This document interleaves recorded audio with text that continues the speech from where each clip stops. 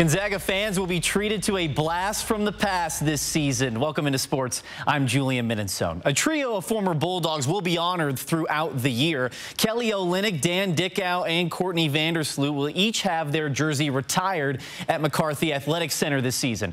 Olynyk will be honored before Gonzaga's home game against Kent State on December 5th. Dickau will be recognized before the Zags go head-to-head -head against San Francisco on February 9th. Now, the date for Vandersloot's jersey retirement is still to be determined determined.